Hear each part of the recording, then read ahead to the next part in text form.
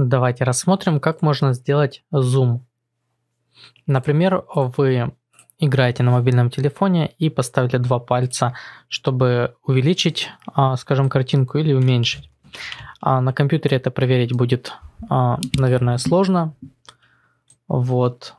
Поэтому мы проверить не сможем, но вы можете проверить уже сбилдив игру на телефон и настроив так, как вам это нужно. Итак, я а, взял на камеру, добавил скрипт Zoom Handler, вот, и а, его мы будем использовать.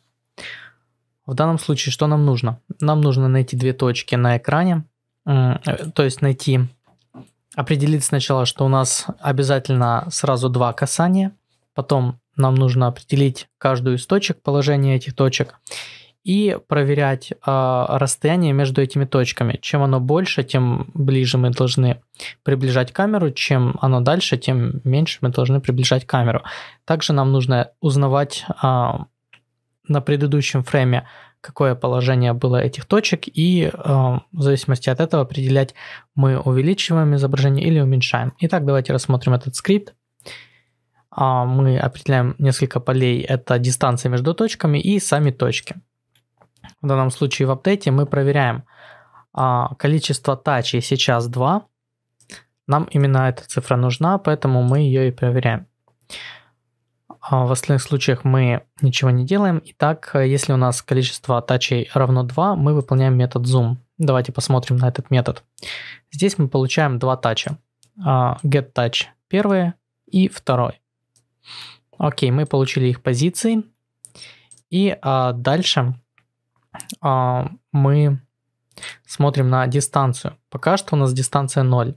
Если у нас а, мы сейчас ничего не делаем, то есть если у нас нет тачей, мы не прикасаемся к экрану, у нас дистанция тоже 0.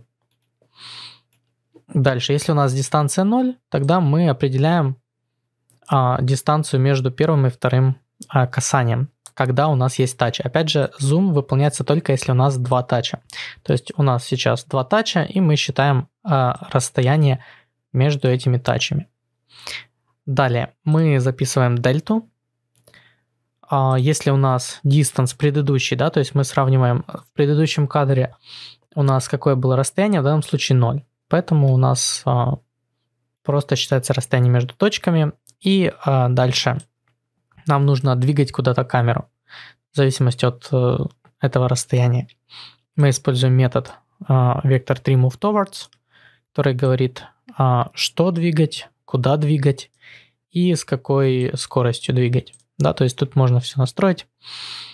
И после этого он присваивает эти значения transform position. То есть в данном случае скрипт находится на камере, поэтому камере будет присваиваться эти значения. И дальше мы записываем то расстояние, которое сейчас в данный момент, чтобы на следующем кадре проверить а, предыдущее. На следующем кадре мы проверяем, у нас уже есть а, здесь какое-то расстояние, и пальцы мы не отжимали, скажем так. Поэтому у нас выполняется вот эта проверка и смотрится расстояние. Вот. Также это расстояние учитывается вот здесь. Соответственно, вот этой дельтой мы будем двигать нашу камеру. А, я надеюсь, принципе, более-менее понятно было, и вы сможете проверить, поэкспериментировать, и это будет вам полезно.